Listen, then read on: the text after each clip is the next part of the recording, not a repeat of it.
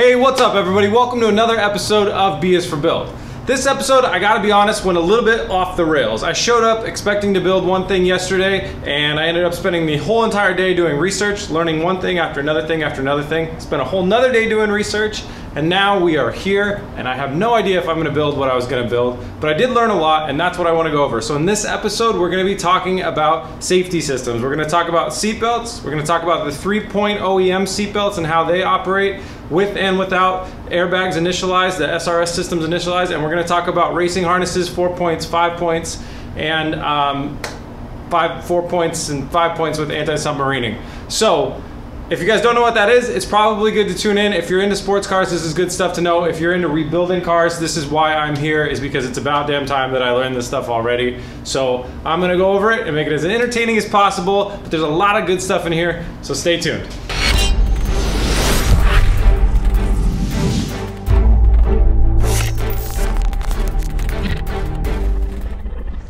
All right, guys, so let me talk about how I got here in the first place, and then we'll kind of talk about the evolution of the things I've learned and where we got.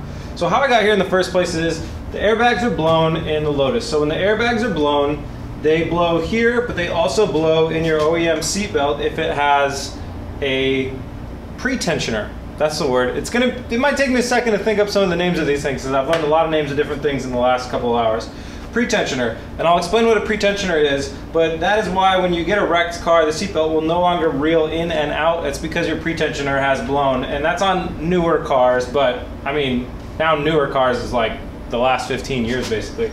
So the pretensioner will normally blow if the airbags blow, almost always, and then that um, makes it so your seatbelt can't go in and out. And I figured, all right, well, since I rebuilt that front crash structure and we don't know exactly how that's gonna react, I don't have a front airbag and I don't have plans on getting one right now, how am I gonna be the safest? Safest. So I thought I will get a harness. So I was gonna fabricate a harness bar. Harness bars have to go at the same level as the entrance level of your seat back for the, uh, the harness. So if your harness comes out like this, it needs to either come out straight or down. So it needs to be mounted at least level or down.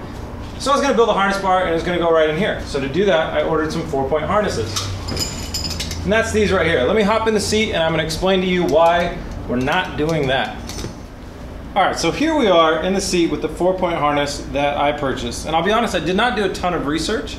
I wanted, I knew I wanted a four point harness because I hate having the giant circular thing that goes right here because there's five things that go into it uh, on a five point harness and you have to do them all individually. So every time you come out of the car, you unclip five things. It rests down with one of them and then you come out, every time you get back in, you have to plug in five things. I really like that this was just a single unclip and clip. That was a selling point for me. And I thought, Sparco, Sparco makes awesome harnesses. Why not order a Sparco four point harness?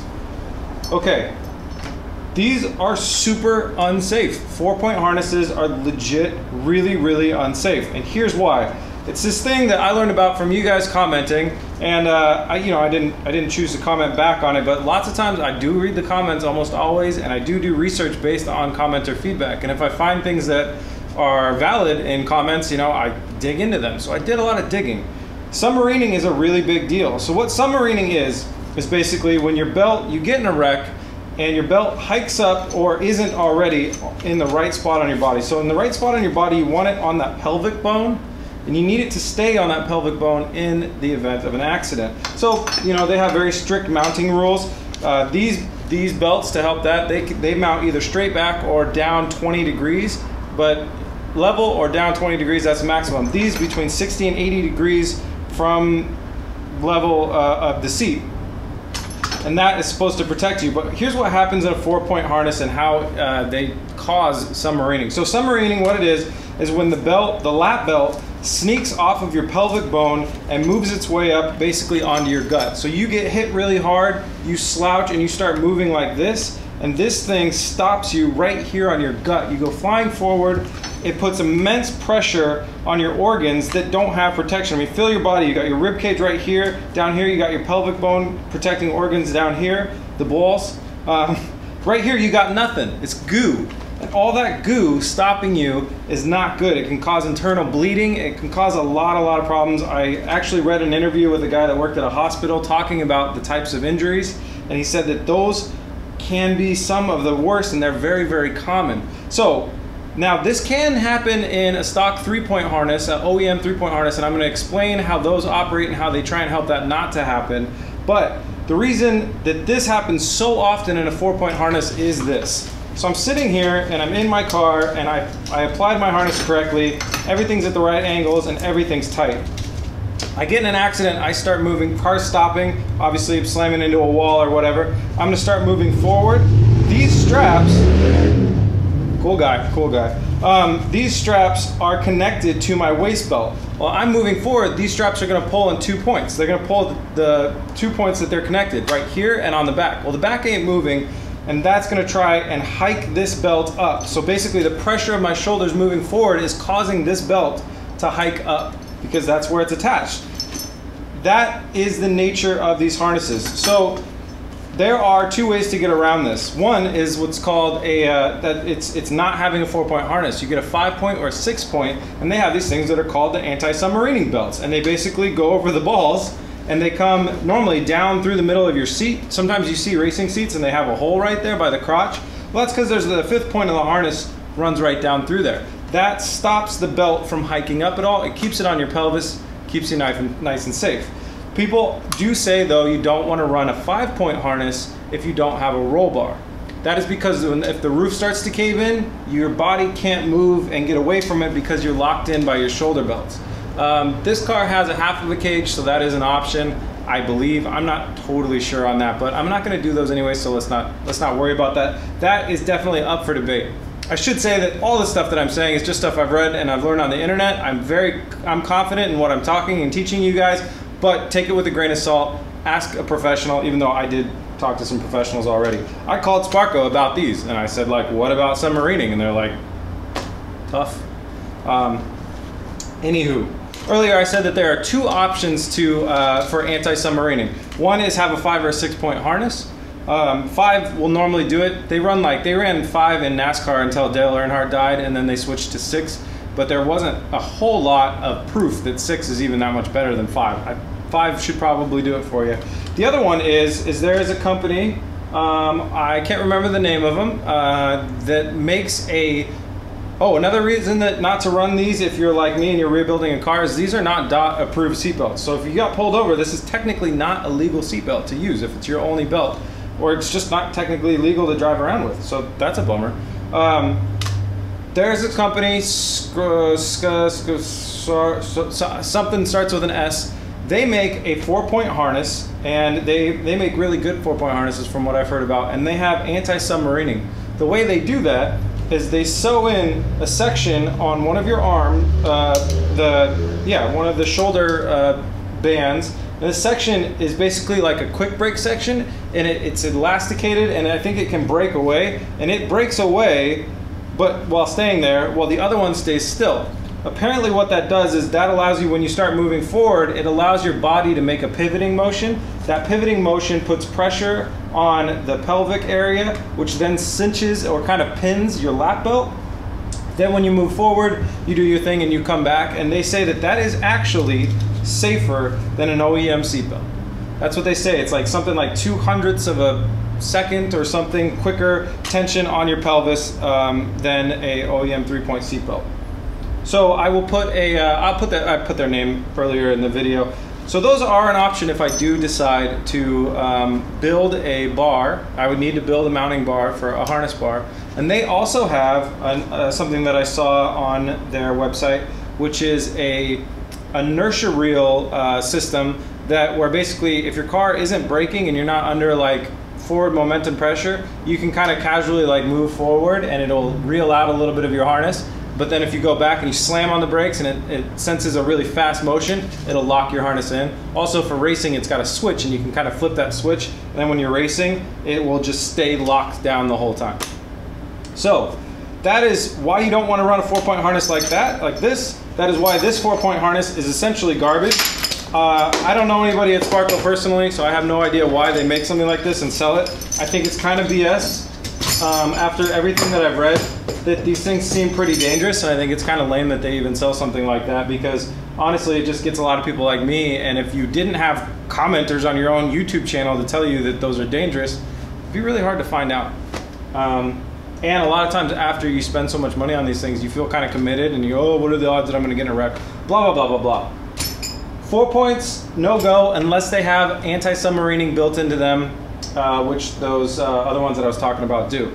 So um, that's out. So I know that I either need to get the ones from that other company, um, or I need to uh, buy a five point. reason I don't want to buy a five point is I have had five points before. Uh, the time that it takes to get in and out of them and everything is really annoying, and I, would really rather not do that. So then, uh, so now it's time to move on to, uh, let's talk about OEM three-point seatbelts, how they're effective, how they work, and what happens after you get in a wreck with them, and how you might be able to repair them, which is gonna be fun because we're gonna have to dissect some stuff because I don't know the answer to all that. All right, so to talk about traditional three-point seatbelts, I decided to take us out here to the, uh, the old Plan A. You guys remember this car, or if you don't, this was the first car that we built on the channel. Um, so this has uh, rebuilt, if you will, or fixed seatbelts, or I don't even know if they're fixed. That's kind of why we're doing this episode. I'll explain what I'm talking about a little bit later, but let's just go over the general mechanics, and I apologize for the background noise. It's rush hour right now. But, okay, so a three-point harness, um, or seatbelt works just like this. We're going across and we're strapped in just like this. Now how this is a lot different than a four point harness is this. The lap belt goes across your, your pelvis and that's how you need to be sitting in a seat. If you got it on your gut, again, that's bad, don't do that. Lap belt goes across your pelvis, then it's connected to a pivoting point or a retraction point over here. Now notice that there's nothing that can pull up on that belt. This thing actually, as long as it locks with the inertia reel like that, when I go down, it's actually cinching my lap belt down onto my pelvis even harder. So that is why they say three points are better than a four point if you don't have anti-submarining. Again, the same thing happens as when we we're talking about that four point and it had the like kind of breakaway strap. Your body can pivot, that's okay. If your car does collapse, your body can move. There's motion, room of motion. But the main thing that I wanted to point out here is that on a three-point seat belt, that the, the, the lap belt goes straight across your lap. There is nothing pulling up on it. There's actually something that is helping tighten it down, which is your shoulder belt. So as your shoulders do move, move forward, this tightens down. So there are two things that the like mechanical pieces of a, uh, a three-point belt that they don't have on a racing harness. Racing harnesses are normally you just bolt them in, you tighten them down, they're gonna do exactly what they're doing right then. These do change a little bit. When you get in a wreck and the front of your car hits that crumple zone, it bashes in and your airbags decide, all right, we're gonna go off. This is a full-on wreck. You have what's called a pre-tensioner. It is controlled in your spooling section of your seatbelt. That's an explosive charge. It fires, it throws ball bearings into the wheeling part, the reeling mechanism in your seatbelt, and what that'll do is that actually tightens down your belt before your body has reacted to the accident. I think, I'm not 100% sure on that, but uh, it's tightening down your belt just a little bit to prepare your body for that accident.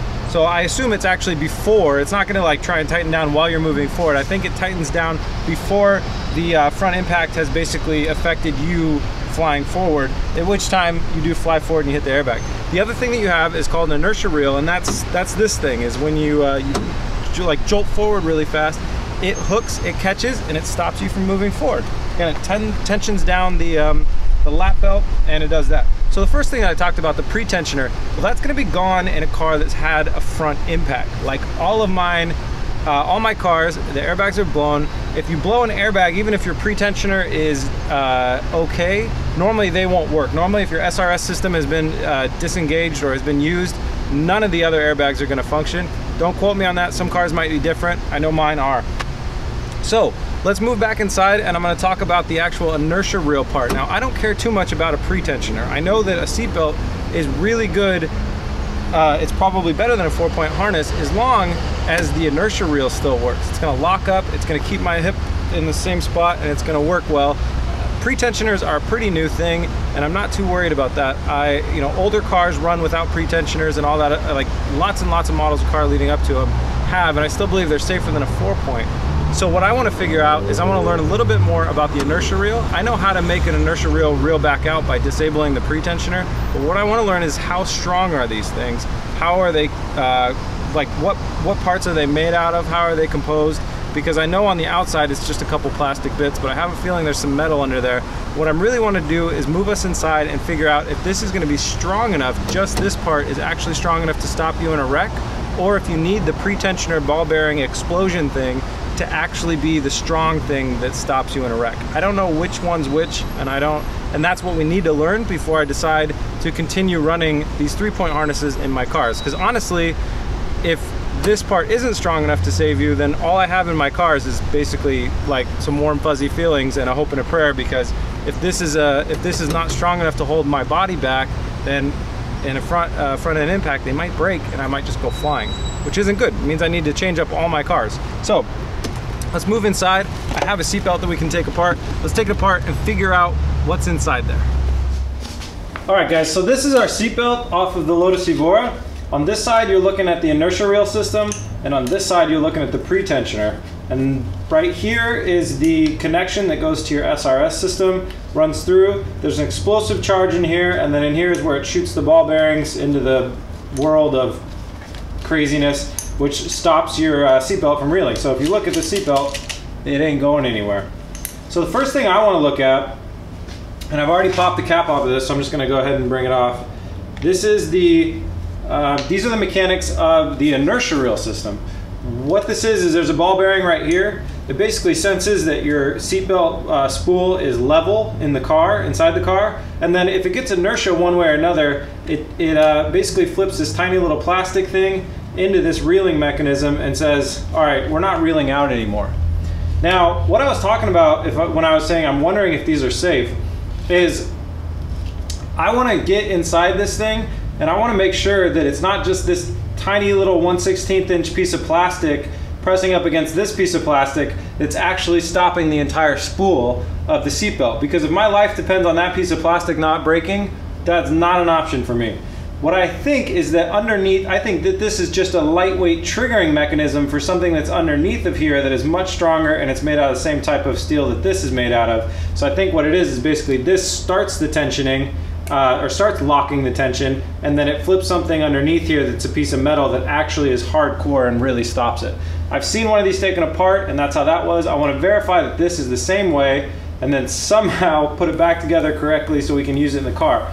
Also then, as a side effect of that, we need to come over here on the other side, and we need to clear out the pretensioner ball bearings from the system. So let's go ahead and get started. I'm going to do a teardown on this so we can see what's underneath it.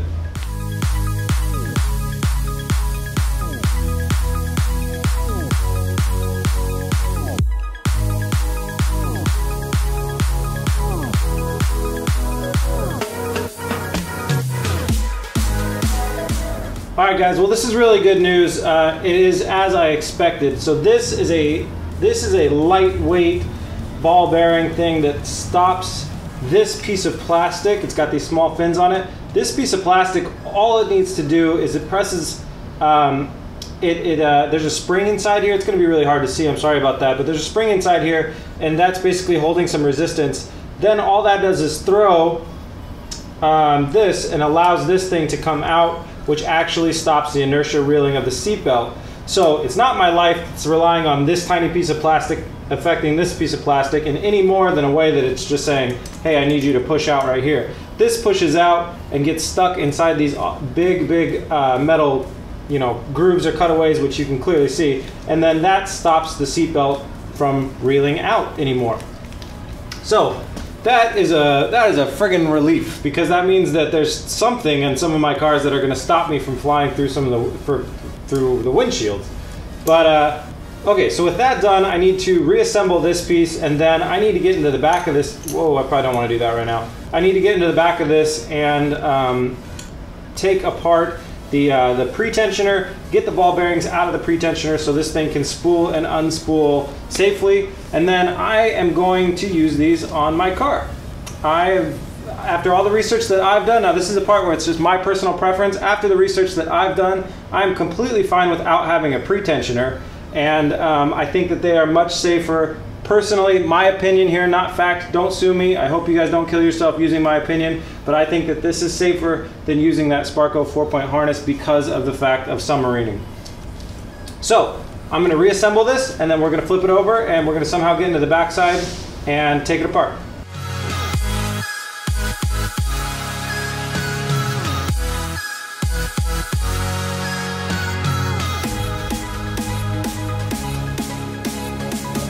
All right, so that took me a little bit with some uh, different like little missteps because I was really uh, fussing with this thing and what I didn't realize is that you need some of the resistance that comes from this side. You'll have one side that has a spring pack in it and you need some of that resistance from the spring pack for this ball bearing and this inertia reel system to really operate the way you would expect it in the car. I was expecting it to operate that way and it really didn't. So here's the way, when you pull the other side off, you got what we got out of it. I should probably show you that a little bit in detail. So this part has um, the ball bearings in it and they shot out this way. You can just take that, cast it aside. This part held some of the ball bearings, we can take that, cast that aside. Because all we really need are the pieces that are essential to put this thing back together and hold its axis as well as hold its spring pack. So this spring pack is right here and then this axle is right here. This one was kind of interesting because it was riveted together so I went down to the hardware store and I got some bolts that will uh, replace those rivets. Most of them are bolted together. So once you take this off and your spring pack is loose, here's the best way that I found to get that back um, in place is you spool the uh, seatbelt all the way up.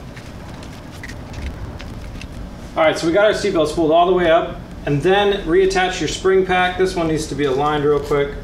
So this one has a square bracket that matches up with this one right here. There we are. And then, oh crap, hang on, I have to pull this bolt off. Okay, so now that you've got it all the way wound, when you unwind it, it will tension the spring back down. So I'm gonna go ahead and throw my bolts in here that I need to bolt in to firmly attach this uh, spring pack and everything back onto the seatbelt. All right, so now that we have our spring pack in, when we feed, uh, feed seatbelt out, it will basically coil that spring up and want to uh, bring it back in. And on our other side, we have our inertia reel all in here and we need the cap on here. But so what we're gonna see is when you hold the seatbelt, um, this unit, the spooling unit, straight up and down and like it would be on the car and level, you're gonna be able to feed seatbelt out. If you move it to the side just slightly, it's gonna lock. But if you hold it straight up and down, it will feed out and then the, uh, the charge, the, the spring pack is gonna bring it back in. So this is one down, this is one done, so I can take my little cap here and throw it on. So what I want to do now is I'm going to go ahead and grab the other one that we had on this car and I will bring it over here and just do the, not do the exploring part that led us to taking this part off, but just do the other part and I'll get it done real quick uh, as a little like kind of second glance for you guys to see how to do this one more time.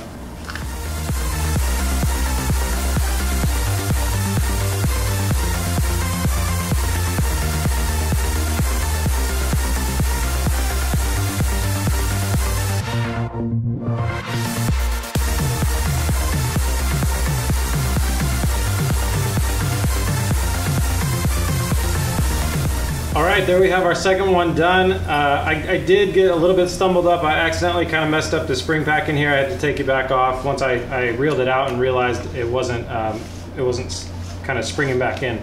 So I took it back apart, fixed that little spring pack, and uh, we're good. So keep it up and down level. It's coming out.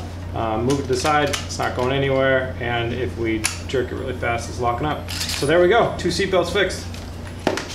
All right, guys, well, that was my breakdown on what I learned about seatbelts and harnesses and safety and the, the safety between four-point harnesses, five-point harnesses, and your stock three-point harnesses, and what you can do with the three-point stock seatbelt after it's been wrecked. That's what I've done on all my cars, but I've never really dug in down into a level of depth to make sure that it was really strong enough, which is negligent of me, I admit, but now we know or now I know and I, have seen that mechanism and I'm confident that that would hold in the event of an accident. Again, this is all just my opinion on these things. Uh, you know, can, you guys should consult with other people if you want.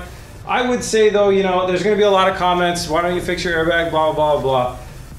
With with this build and with all the builds that I do, I really like to get the car running in driving shape in a somewhat safe fashion and use it for a little bit, be it two months, six months, a year, whatever, and figure out if I really enjoy the car and if I'm really gonna continue using it before I go all out and have all the airbags reset and have everything done. This car, it is particularly hard to get these airbags for. As we know, like Lotus parts can be really hard to get. I already have looked into airbags there aren't any secondhand that I can find, and that's one of the big decisions for I'm going of one of the big reasons why I'm going this direction is because it is hard to get parts for this car. in the future, you know, after I get this car on the road, if I'm enjoying it in the future, I'd be looking at, I'll keep my eye out for a used front subframe and airbag modules. Uh, you need an airbag computer, you need a passenger airbag, you need a driver airbag, and I'll need both those side things for the seatbelts. But they do often sell these in kits. You can buy a whole kit that you can just plug into your car. So you guys, if you're trying to be as safe as possible, either take it to a professional or buy the entire kit and replace it yourself. Once you see that little airbag light go off, you can run some more diagnostics, but you're probably gonna be pretty safe. Uh, in my case, I'm just doing this because it's budget. It's going to get me on the road. It's going to get me behind the wheel of this car, testing it in a re relatively safe manner. And then, you know, if I fall in love with it, which I'm expecting to, and I'm daily driving it all the time, I'll keep my eye out. I'll get myself a new subframe so we don't have the uh, repairs that I did on that. And I'll get myself a, a, new airbag, a new set of airbags and airbag control modules and all that good stuff. Um, but if you guys are on a budget, that is a way to do it, and that's the way that I do it on my salvage cars. All right, I hope you enjoyed watching this episode of B is for Build. If you like B is for Build and you like what we do, head over to bisforbuild.com, scroll down to the shop. You can pick up a shirt, a key tag, hats, grabbing anything from the shop. All the proceeds of that go directly to this build and the future builds. So thank you guys very much for supporting us that way. You can find us on social media at bisforbuild.com, facebook.com slash bisforbuild, and we are B is for Build on Instagram. Thank you guys so much for watching. If you're watching this up to date, this weekend we are not going to have an episode like we normally do. I got some important stuff to go visit family for, but we will pick right back up with some more fun stuff. We're jumping into the bodywork section of this car in the next episode, and that should be really fun. And I think I even get to paint stuff. So it's going to be exciting for me at least. So thank you guys very much for watching. Please remember to like and subscribe. Peace!